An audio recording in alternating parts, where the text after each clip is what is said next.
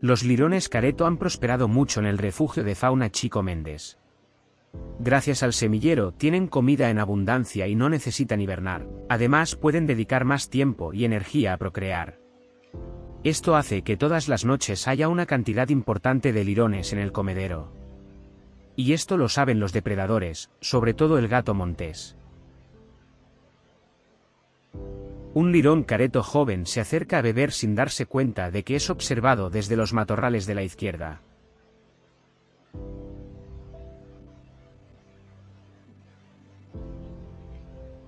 El gato sale de su escondrijo sigilosamente y espera el momento en el que el lirón trata de subir al comedero.